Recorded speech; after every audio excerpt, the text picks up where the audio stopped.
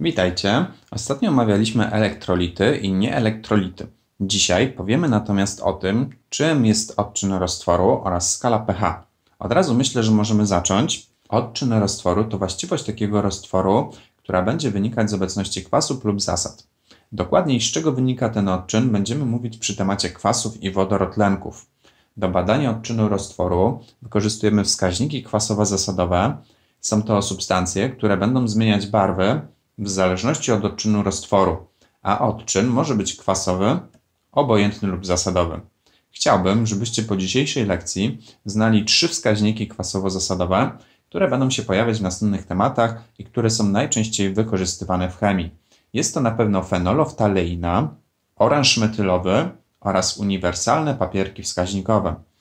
Oprócz tych wskaźników można wykorzystywać oczywiście e, również inne wskaźniki, albo można wykorzystywać również wskaźniki naturalne. Do takich wskaźników naturalnych zaliczamy chociażby wywar z czerwonej kapusty, sok z buraków, czy na przykład esencję herbacianą.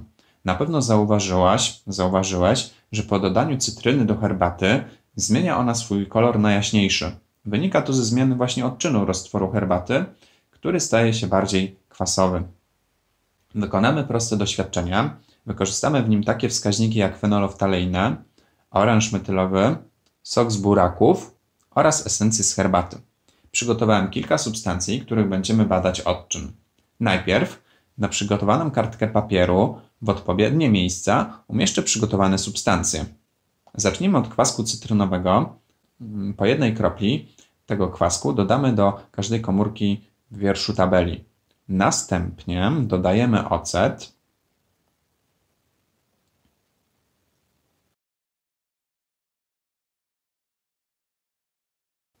Teraz woda. Następnie dodajemy roztwór cukru.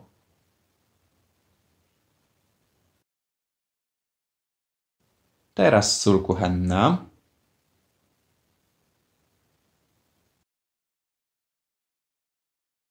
Następnie przygotowałem roztwór mydła.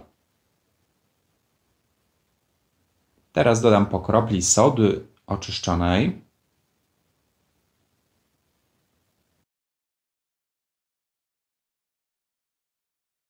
I na koniec dodamy kreta, czyli środek do udrożniania rur.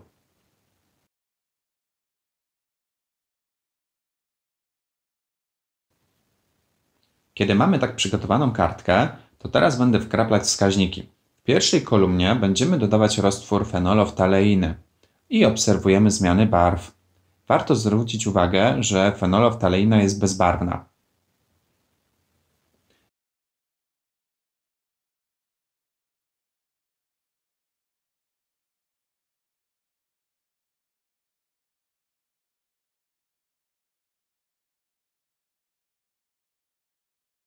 W drugiej kolumnie umieszczamy oranż metylowy, który jest pomarańczowy. Zobaczymy, czy widać jakieś zmiany barw.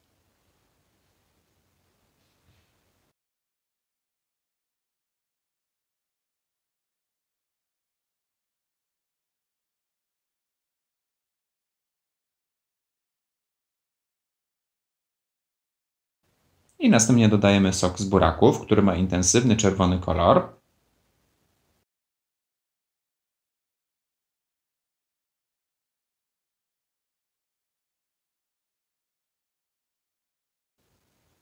A na sam koniec dodajemy esencję herbacianą.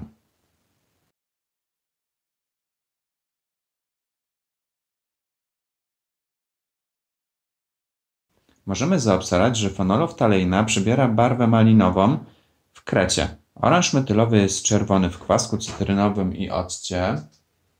Sok z buraczków ma ciemniejsze zabarwienie w przypadku kreta i sody oczyszczonej i podobnie jest w przypadku esencji herbacianej. Zobaczmy na tabelkę. Mamy tutaj przedstawione barwy wskaźników w roztworach o różnych odczynach. Mamy roztwór kwasowy, obojętny i zasadowy. Proszę zwrócić uwagę, że fonoloftaleina barwi się na kolor malinowy w odczynie zasadowym. W naszym przypadku odczyn taki wykazywał kret oraz roztwór sody, który po jakimś czasie też zabarwił się na kolor malinowy.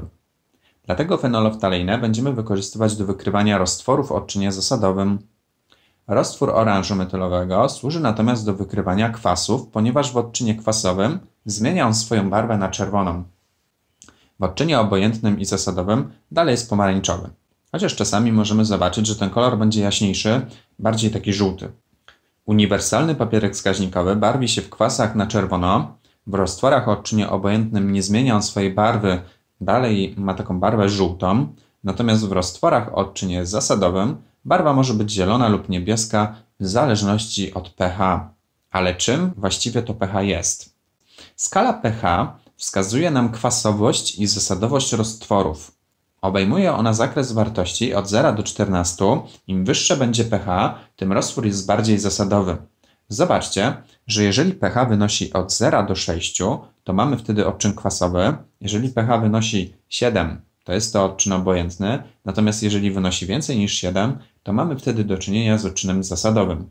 W ten sposób barwi się uniwersalny papierek wskaźnikowy, a więc jeżeli jest czerwony, to jest to odczyn kwasowy. Jeżeli będzie żółty, no to mamy odczyn obojętny. Natomiast jeżeli będzie zielony lub niebieski, no to wtedy będzie miał odczyn zasadowy.